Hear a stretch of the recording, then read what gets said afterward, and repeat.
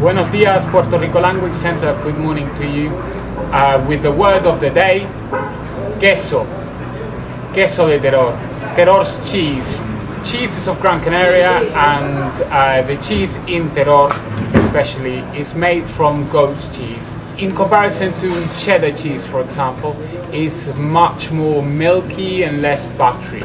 It does have quite a bit of content of uh, fat as all cheeses do, but it's very tasteful and very nice. En un bocata de queso de Teror. In a nice sandwich as we call here bocata bocadillo of Teror's own cheese. Have a nice day